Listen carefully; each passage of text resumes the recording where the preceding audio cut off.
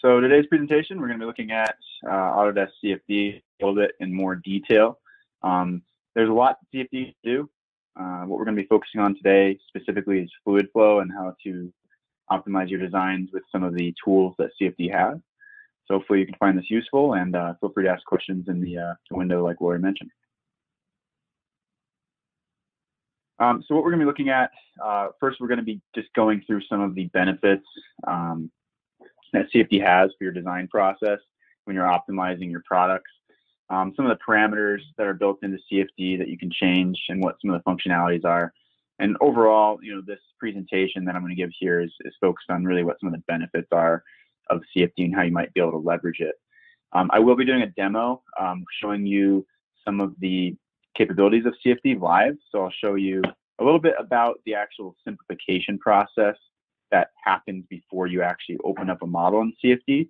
Um, sometimes to create materials, devices, resistances, things like that, you need to do some prep work on the front end. So I'll show you that work using Fusion 360 and then jump into uh, the actual CFD product demo. So if you have questions, hold on to them uh, or ask them in the window, and then we will get to those at the end. So what are some things that we might use CFD for? Um, if we have a complex product that we need to optimize, or maybe we want to evaluate performance to see if there are any issues with it that might be causing um, problems in the field, uh, or maybe we feel like we might be able to improve uh, the manufacturability of something, uh, CFD is great for that. So some of the things to think about valves. So we've got valves. Uh, these can be stationary, or with CFD, you can actually simulate motion if you have the CFD Ultimate product, you can simulate the motion of a check valve if you wanted to show it in the open and closed position, moving back and forth. Uh, you can do that with CFD, which is really neat. Uh, looking at nozzles is going to be where you've got like a compressible nozzle and you want to figure out uh, what your um, pressure and volume flow rate are uh, on the nozzle. Maybe some of the forces that are created by the fluid on the sidewalls. You can calculate those forces as well. Uh, pumps so looking at, uh, at pumps and circulation, making sure you don't have any uh, stagnant zones or cavitation occurring in your pump. Um, just making sure that it's performing as expected, then you're getting the right mass flow rate and volume flow rate out of that. You can also look at the combination of um, devices like pumps and blowers um, simulated in that pump. And then heat exchangers are a great application as well. So anytime you're looking at fluid flow as well as heat transfer, maybe need to calculate temperatures of air, water. Um, maybe you have like a, a high wattage device like an LED that you want to verify. You can do that with CFD as well. So looking at flow, uh, you know, some of the things, some of the factors that we're looking at, some of the results that we're using to guide our decision. Typically, you're looking at things like exit velocity uh, determining what the velocity is on average, but also you can determine what the velocity is at specific sample points so that you can compare that with test data that you might have and determine um, how accurate your solution is. Um, looking at pressure loss across the system, pressure drops, always a really good indicator of how something's performing. You can verify that with CFD. Um, flow path efficiency, so how efficient is your flow path? How much time is it spending in the system? Uh, you can run a transient study to determine things like that. Um, also, in general, just is your flow uh, maintaining a, an orientation you want? Are you getting any uh, recirculation that's causing trouble? And then uh, consistent heat exchange. So, are you getting the heat transfer that you need? Is it consistent and reliable uh, in your product? So, these are some great, great options that we can uh, evaluate with Autodesk CFD. So, you know, what are some some impacts of this? Um, you know, maybe you have uh, some flow rate being reduced, and you want to determine if the flow rate's reduced, what could happen? Well, you know, you might see something like a, a pressure loss. Some stagnant areas and recirculation might start to occur. That can lead to cavitation. And when you start seeing recirculation, uh, stagnant areas in your design, that can create increased erosion right? You might have uh, maybe you have a pump that's moving, um, you know, uh, dirt. Maybe it's moving uh, something with sand and particles in it, where you know erosion might start to occur if you have some stagnant areas and you have a lot of sitting water, or sitting uh, particles in your design. That can cause problems. And then it can also create an inconsistent temperature distribution. So you might be seeing um, temperatures vary across the outlet where you need it to be consistent. Maybe you're cooling a device and you're getting inconsistent cooling on that because you have um, some recirculation occurring um, of the heated air you're trying to remove from the system. Um, all those things come into play and they can have a pretty big impact um, downstream.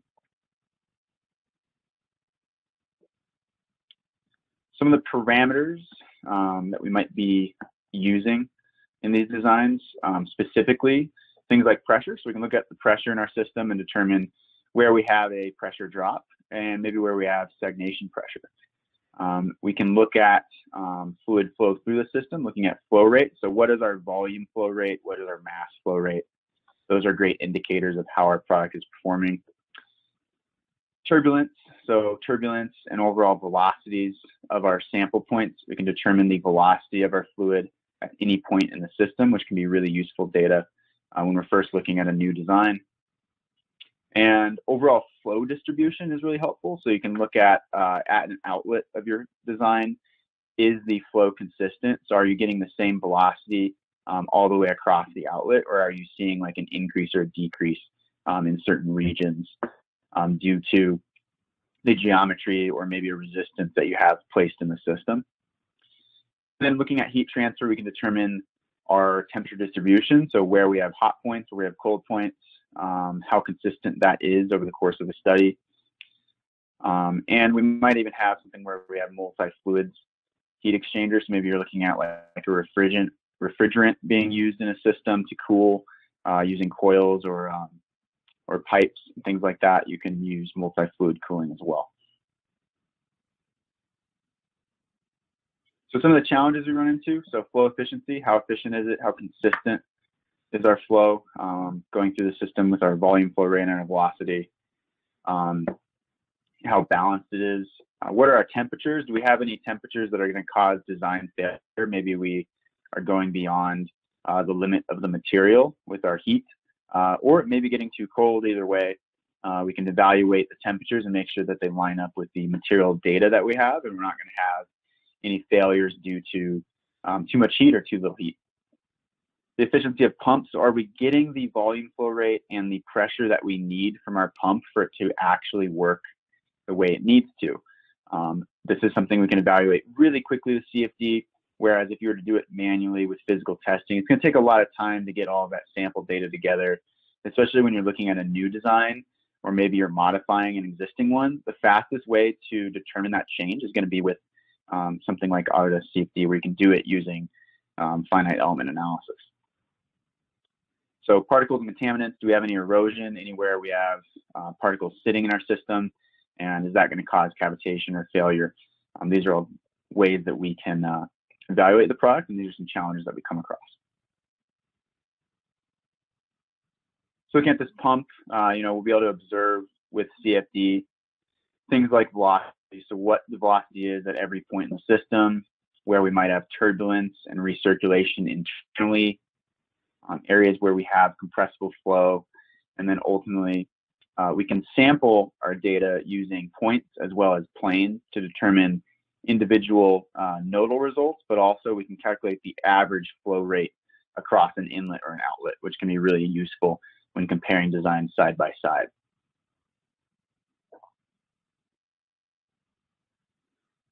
So that would be velocity results. If we're looking at a system and observing the pressure results, we can determine pressure drop using sample points and creating an XY plot showing how the pressure changes from point A to point B.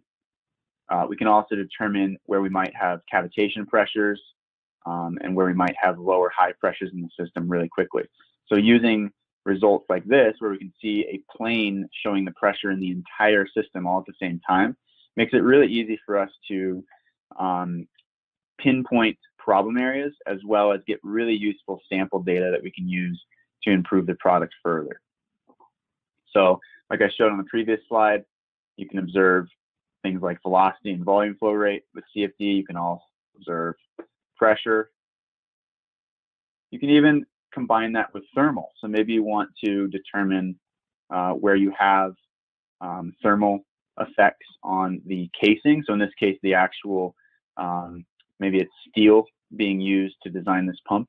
You can determine what the thermal loading on that's going to be, and you can use that in a separate finite element analysis to determine what the thermal stresses are going to be on your system because you know the temperature distribution profile.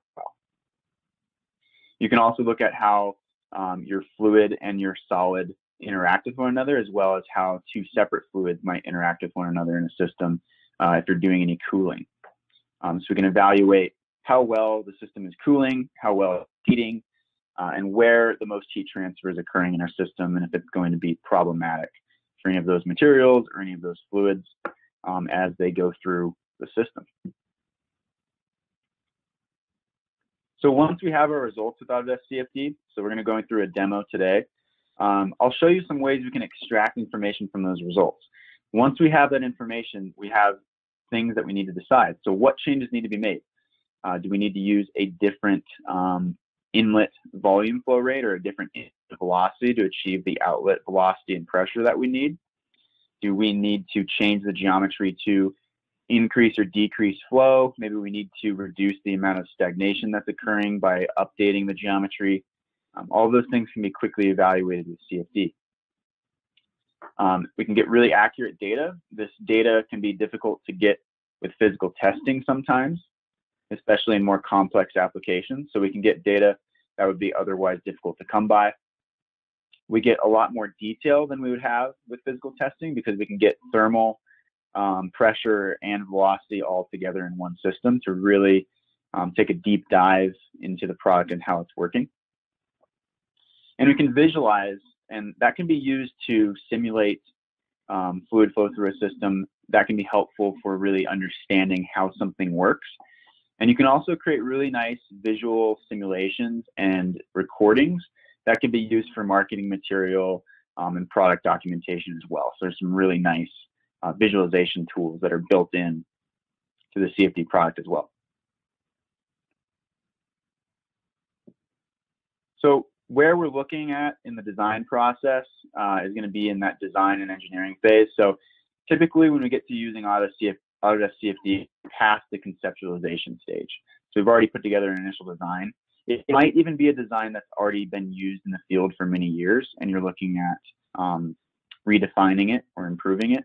But either way, this design and engineering stage is critical. Um, if we do a good job of evaluating the design and improving it at this stage, it's going to save money before we get to actually physically testing it and prototyping it. Um, as anyone knows, prototypes can be really expensive, especially if they are in a small volume.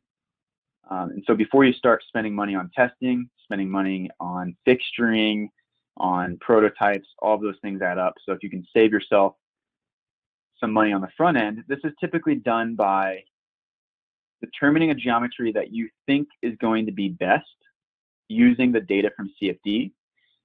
You might still discover things in physical testing that you didn't in CFD. It's not like it's going to be a perfect um, you know, silver bullet for all of your design issues. What it's going to do is going to give you a really, really good starting point so that when you get to physical testing, you're already close to what the final design needs to be.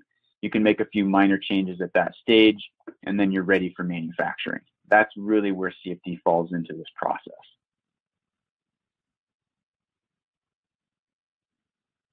So we already mentioned some of the benefits. You know, we're improving our product performance. Um, we're eliminating areas where we might have erosion, maybe cavitation occurring in our design that might cause problems or failure. Visualizing our flow uh, and also determining what some of these thermal effects and results are. So do we have enough thermal stress to cause failure? And in general, is the temperature profile what we would expect? So just so that you're aware, we're going to be focusing on CFD today. Um, the Autodesk Suite has a lot of other products uh, that might be able to help you with simulation. Um, if you're doing anything structural, so if you do need to run a structural analysis um, in addition to fluid flow, I'd recommend Inventor Nastran. Used to be called Autodesk Nastran In-CAD, is now been rebranded as Inventor Nastran. That comes in the product design and manufacturing collection if you have that. Uh, Nastran is great for running structural analysis. Um, if you need to do injection molding analysis, CFD cannot study injection molding in that rate. Um, for doing that type of analysis, you'll need Autodesk Moldflow. So just keep that in mind if you are doing any injection molding.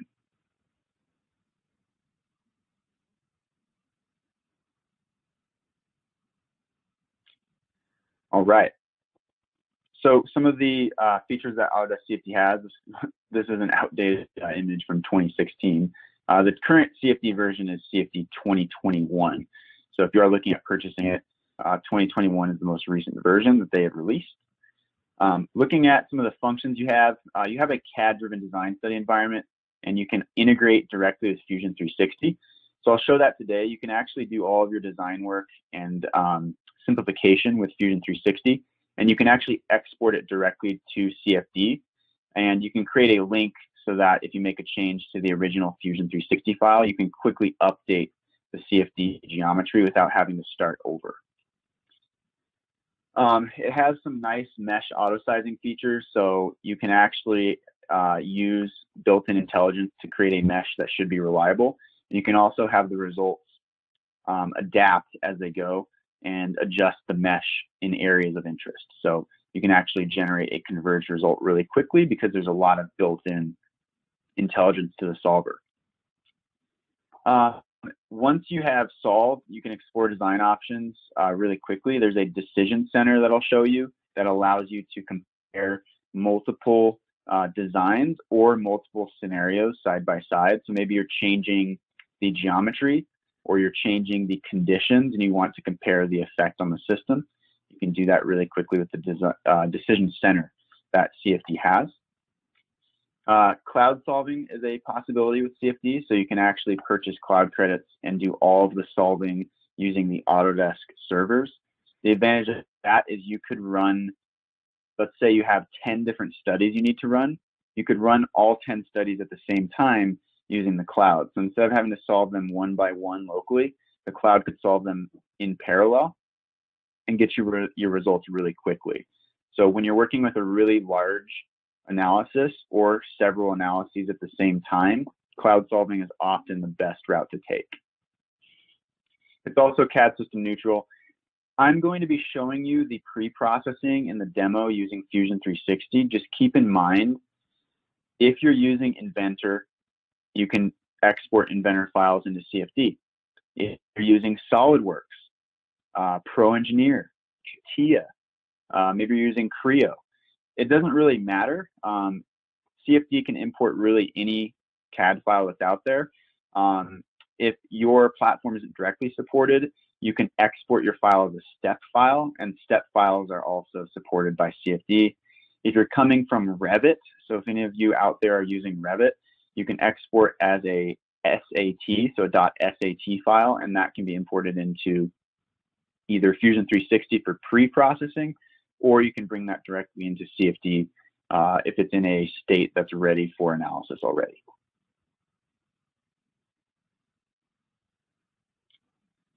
All right, so I think uh, from here we'll just jump into our demo.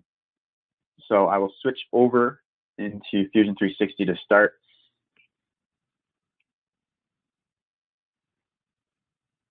So this is the geometry to look at today. I think this is a really good example because we can look at fluid flow, but also there's a couple devices in here that we're going to simplify um, for use in Autodesk CFD. So this is a blower. Um, it's going to have a um, motor here driving an internal fan. So if I show you the fan here, you'll see that inside there's this fan that's going to be rotating um, at a given RPM. And you might even have you know, the actual um, flow rate of the fan and things like that. Um, whatever data you can get, you'll want to have that before you start your analysis. But this fan here is going to be pulling the air from the inlet right here. To pull it up and then exit out this square outlet at the top. So to look at this with CFD, I'm going to need to make some simplifications. Typically, you're not going to bring in a design that is this detailed into Autodesk CFD. One thing to think about is if you're only doing fluid flow, so if I'm not doing any heat transfer, which in this case, I'm not going to be running heat transfer yet on this analysis, I just want to determine what the pressure drop in the system is and what the volume flow rates are at the inlet and the outlet. So because I'm not doing thermal, I only need the actual fluid volume. I don't need the sheet metal that's used on the exterior. I don't need the support frame. I definitely don't need this motor.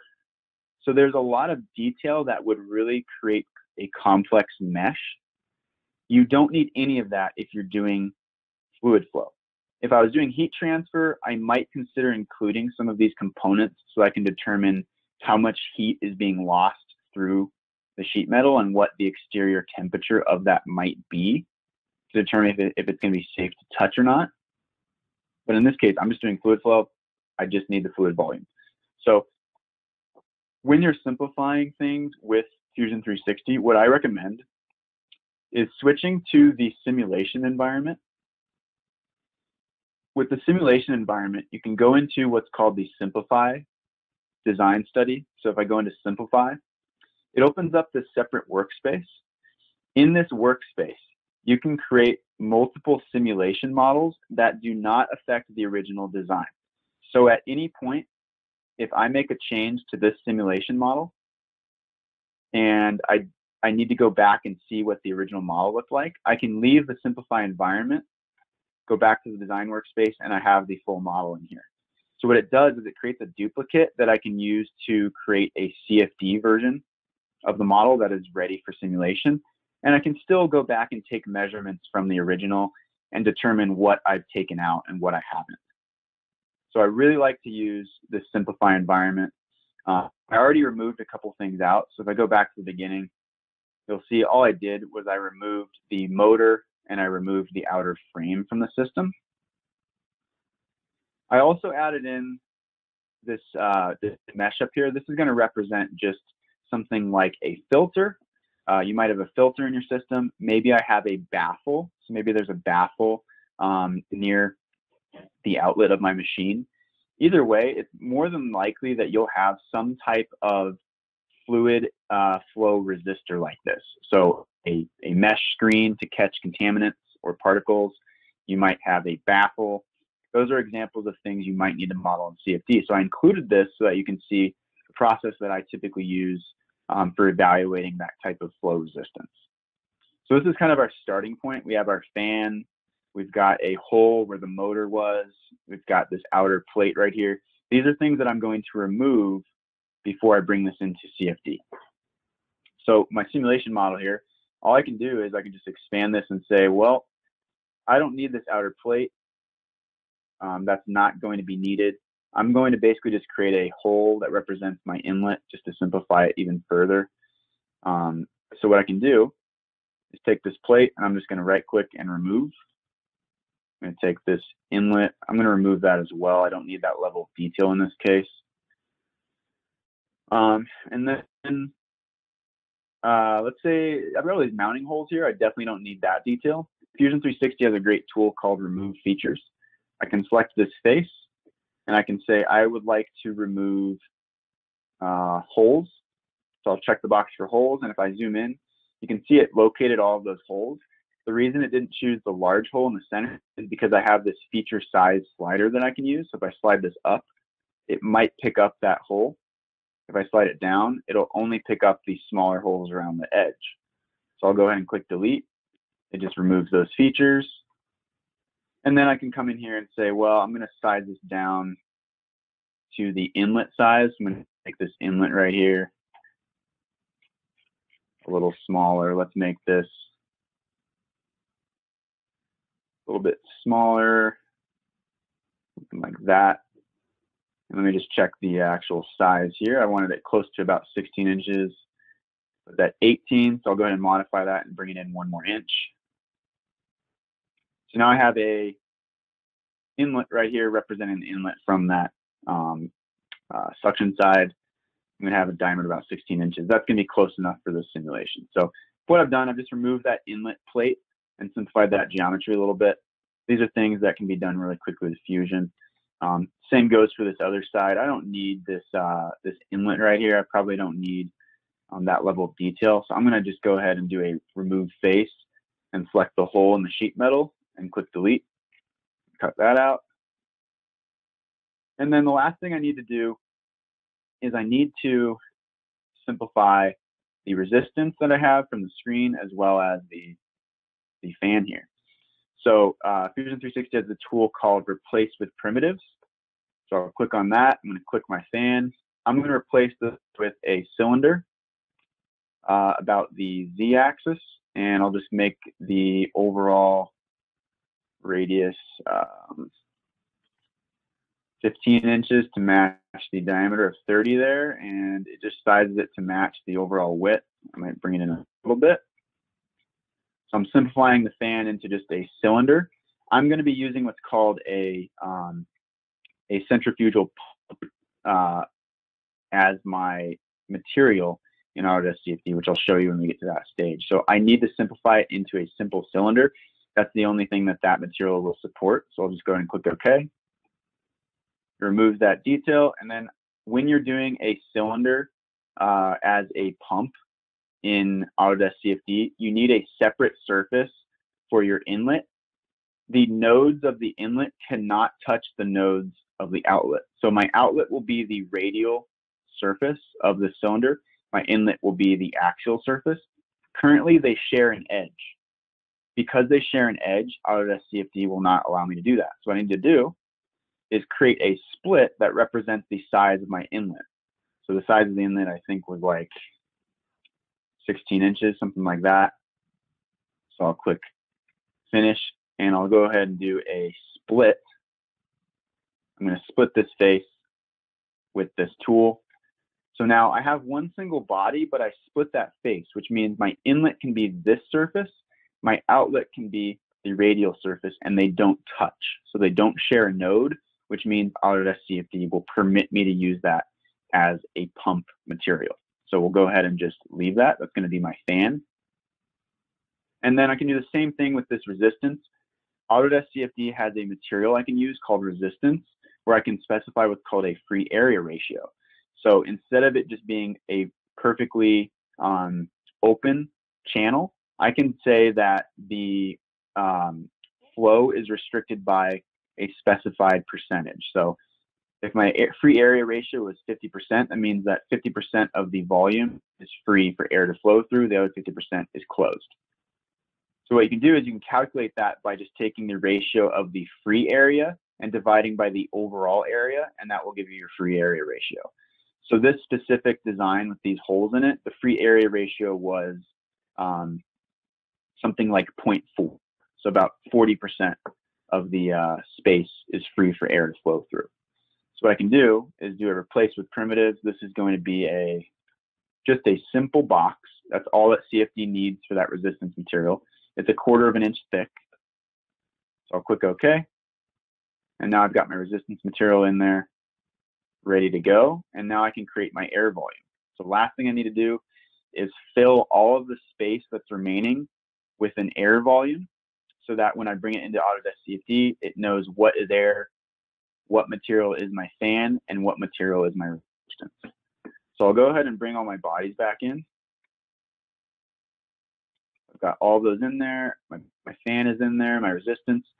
And to create a fluid volume, you can do it in Autodesk CFD or you can do it ahead of time. I typically do it ahead of time because it's pretty simple. I'm going to patch the inlet with a surface. I'm going to patch the outlet with a surface. And then what I can do is have Fusion 360 automatically calculate that fluid volume. So I patched those two surfaces, which means this is a fully enclosed volume. So I can go ahead and go to create a fluid volume with Fusion 360. This will be an internal fluid volume. I'll highlight it, click OK, and I'm done. So now I can go ahead and I can remove those surface bodies because I don't need them anymore. And the resulting fluid volume, you'll notice right here, it filled everything except for the fan um, and the resistance. And then on the top side, it created a separate fluid volume here, which is the air that uh, the space after my baffle screen that I have right there. So I've got my fluid volumes created. Um, at this stage, um, I could then remove my sheet metal. So I can actually completely remove all of my sheet metal. So it's just the fluid volume and the fan. So I have several volumes in here. And then what I typically do to improve the convergence result at the inlet and the outlet is extend it a little ways. It helps to um, create a better profile for taking sample points and you'll have a uh, result that's generated a little bit quicker as well. Um, so what I'm going to do is I'm going to just pull this outlet face out a little bit. Just pull it like eight inches. And I'll pull the outlet out the same, like eight inches. That will allow me to get a better sampling of data at the outlet because it's not escaping um, as easily out the sides. You're going to get some some data that's easier to to work with in Autodesk CFD if you extend the inlet and the outlet, and it'll converge quicker, especially if you have um, thermal analysis that you're doing as well. So this all looks pretty good. At this point, I can just take this and I can export it out to Autodesk CFD. So let me show you the other model in here. The other one that I created should look basically the same. So I can just go ahead and take this one out and export it. Or, so that's going to export as a step file. The other option is you'll notice in Fusion 360, if you go to Tools, if you have CFD installed on your computer, you'll be able to just go to CFD 2021 and click Simulate in CFD. And automatically takes this geometry and it opens up CFD, and I don't have to actually go through any export process. So I'm going to call this uh, blower demo. Um, I have to choose a path. Me just save it to a uh, a new folder in here. Call my blower webcast. So I'm going to create a new folder for this and I'll go ahead and click once. You'll notice in here, there's also the option to update an existing design study. You would use the update tool if you already exported this once and you made a change. You can update your design study without having to start over. So all it will do is it'll update the model that was already in CFD with what your current one is, and then you can continue working from there. In this case, I'm starting fresh. So I'll just click launch. And what it'll do is it'll just open up this model directly in CFD, and I can start to apply all of my conditions. So I'm using CFD 2021. This uh, integration is also available if you have an older version. So if you have CFD 2019, you can do the same thing. When you open up CFD, it'll look something like this. So just make sure everything got brought in. It should have a couple volumes. I've got my air volumes. So I'll hide that. Let me go to volume here. And I'll hide my other air volume. So I have a resistance and a fan, and that's it. So a total of four volumes. So first thing I'm going to do is apply some material. So I'll just say that these two volumes here are going to be air. So this will be a fluid. This will be air. So I'll click apply. I'll hide those. Um, this material is going to be resistance. So I'll click that volume and I'll go to my materials, resistance, and click edit.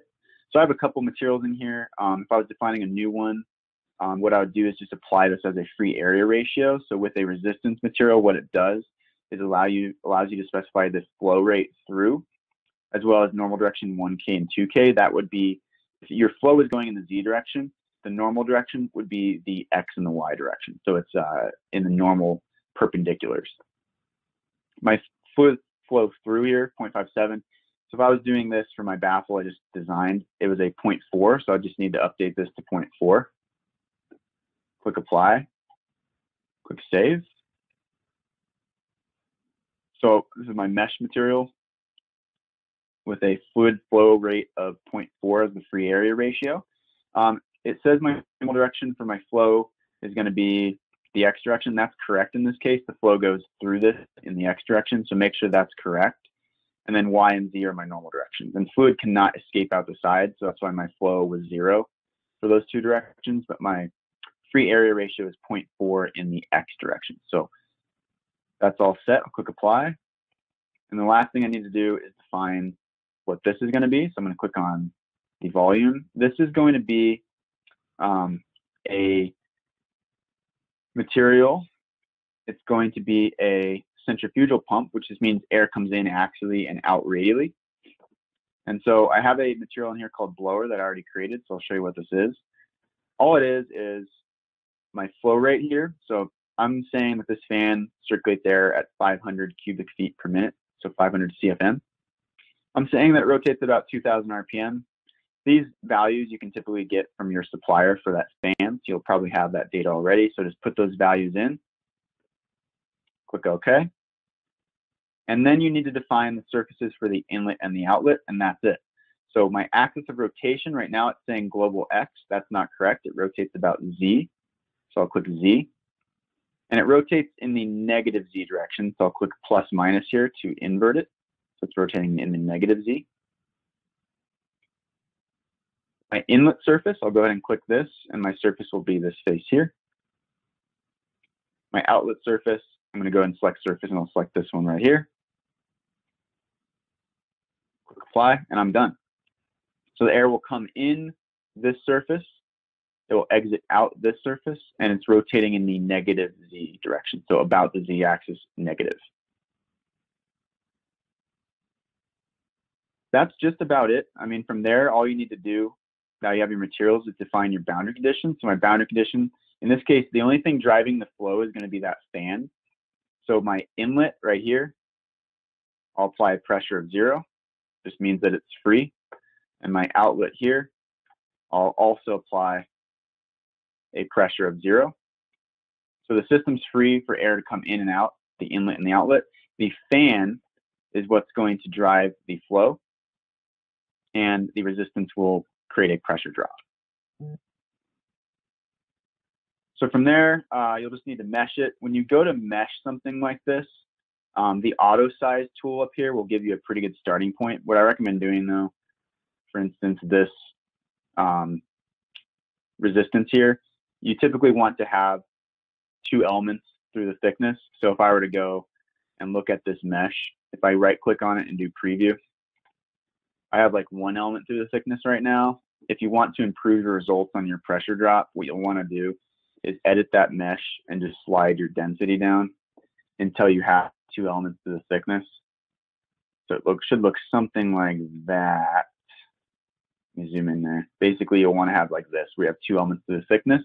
That will give you better results for the pressure drop across that that uh, fan um, baffle or the mesh screen that you have in there. Just make sure your mesh is small enough there, and then you're pretty much ready to solve. So after it's solved, this is kind of what you'll get. Um, the output bar, I ran 200 iterations. It shows you the convergence. So it shows me that these values converged um, or were very close to it. I might run a few more iterations to improve that VY velocity, but each of these values is tracked over time. So with each iteration, it tells me how close I am to a converged result. So I'm getting pretty close. You'll see how they start kind of changing rapidly. Once all of these lines are parallel, that means you have a converged result.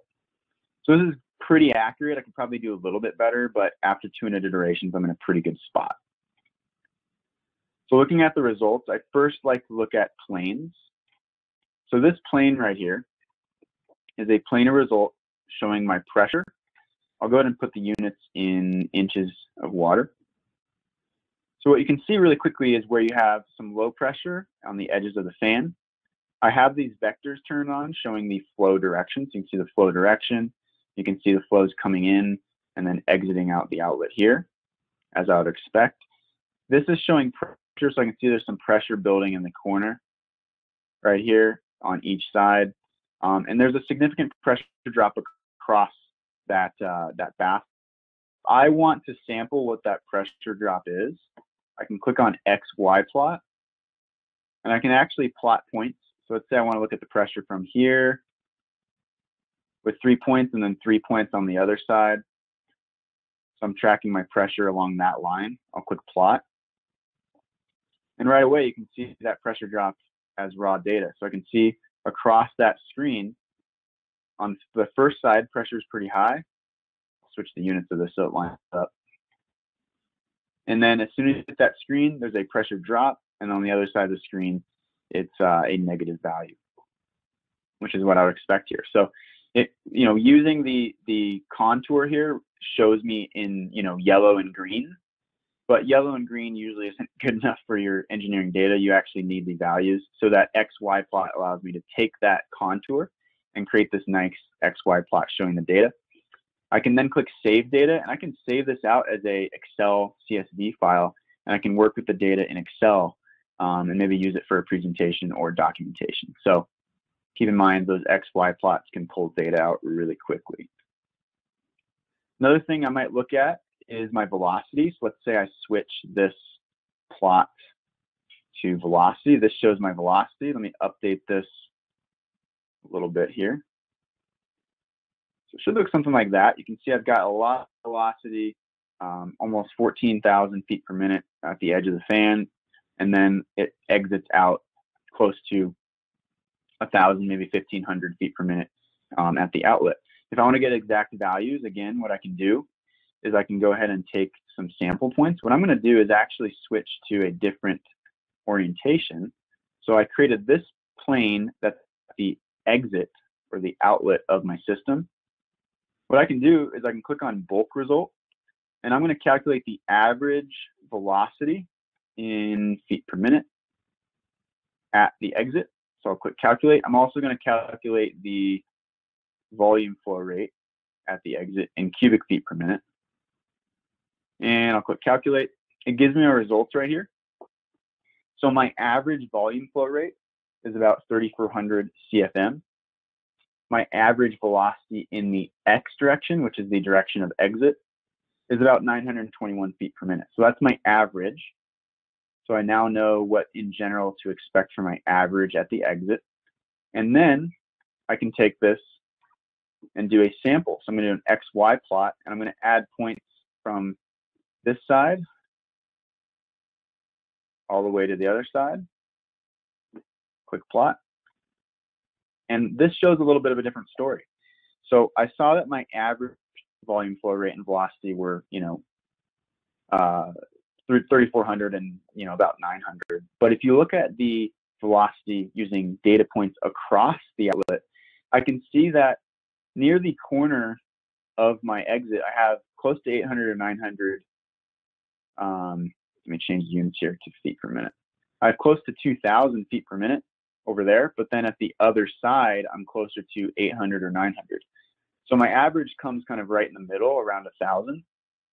But I can see I have a lot more velocity at the corner of my outlet than I do at the other side. So this is something that you might use to evaluate your design and determine how can you get a more consistent velocity profile um, those XY plots go a long ways in identifying that. Now, the last thing I wanted to show here was how you can compare two designs side by side. So I've got these, um, these plots for this design. What I did was I created a second study. In my second studies, looking at baffle number two, I changed the free area ratio from 0.4 to 0.8. So what that means is I've created more holes in my baffle or more holes in my screen, allowing for more air to get through. So if more air can get through, I should see a different result for my pressure. So you can see that my static pressure is not building quite as much in the corner because there's not as much resistance to the flow. I'm getting a more consistent um, pressure on each side of that screen, which is what I would expect because there's less resistance.